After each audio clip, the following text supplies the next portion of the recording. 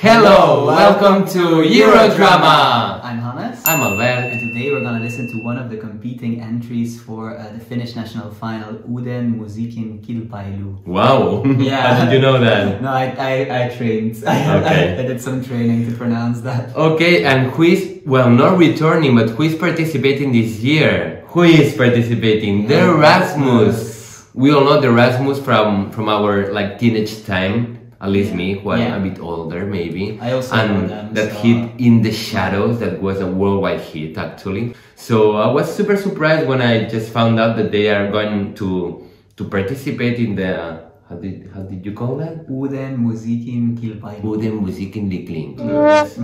This, And they're gonna sing. You pronounce it better, Yeah. probably as well. I think Jezebel. I think Uh, that's just the Jezebel. name now. Yeah. Okay, so yeah, I'm very excited to see how the song will be. Yeah, me too. So let's get into this. Let's get into this. hmm Okay.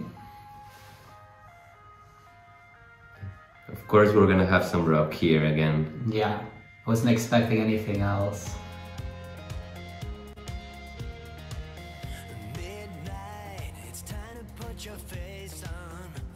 Yeah, I can already feel like the Rasmus flavor, no? In Yeah. it? They have been together since 1994. Oh, ah, just really? before, yeah, Oh, wow. very long time. Yes. He still has like the, the feathers in his hair like he used to. And it's a pretty cool lyric video, no? Power. Yeah. Yeah, reminds me a lot of the music from the 2000s, no? It does, yeah, they stay true to themselves. Ooh. Okay, the chorus is catchy. It builds up very nicely as well. Yeah. They didn't take very long to get to the chorus again, which is the most like powerful Yeah. part, which I like. Yeah, because the verses they bore me a bit, but the chorus is good. It's catchy. Yeah, it's very catchy. It's, it's already in my mind.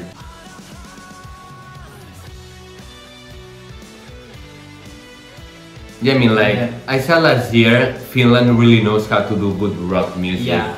and that's a proof again. And also, this is what we expect from Finland. Absolutely, on. and from the Rasmus Yeah. with Bridge.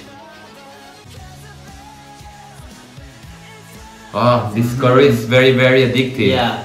This is the kind of song you can have on repeat Yeah. and not get bored of it because it's so catchy. Who is Jezebel? I would love That's to know question. Jezebel.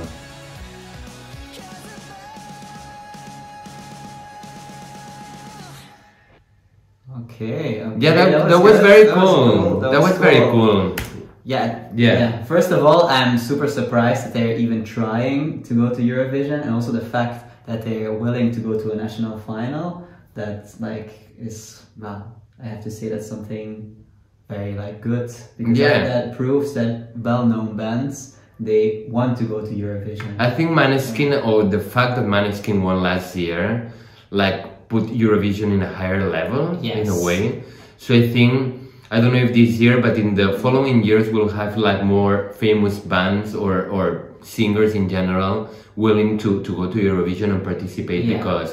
Mm, I mean, Maneskin has been super successful in the charts and Spotify. They have been like having hits during the whole year. Yeah. So, yeah, as a song, I mean, it doesn't like have or it doesn't give us anything new in a way. no, it doesn't. It's not something yeah. we have never listened to. But do to. we always have to have something new? That's the question. Like, Exactly. if this band they have been uh, around for so long, they know how to make their Mhm. music. So I'm not really expecting from them to come up with something completely new that I was not expecting from them. This is what I was expecting, Mhm. and they delivered with a good song, with a catchy chorus, and yeah, that's just all that I wanted from the Rasmus. Yeah. My only concern though is that we already had Rock last year. I mean, doesn't mean that Rock can Yeah. not win again. Of course, Rock Mhm. can win again. But maybe I would like something more out of the box, like to, Yeah. to win Eurovision or to Mhm. participate from Finland. It is the first song we, we listen from Finland, so I don't Yeah. know about the rest. But yeah, that's a safe choice, but at the same time, it's pleasant that the chorus is very catchy. Mhm. And again, the Rasmus is a very, very well known band, so this will add some points Yeah. for them. Yeah. And also, I think the fact that Blind Channel last year did so well maybe also triggered the Rasmus to uh, to take part. All right then. So this has been our reaction to the Rasmus with their song Jezebel. And remember, if you like our content, we're gon- gonna kindly ask you to subscribe to our channel. And we also have an Instagram account, so if you want to see more of us, go here, please. And see you next day in Eurodrama!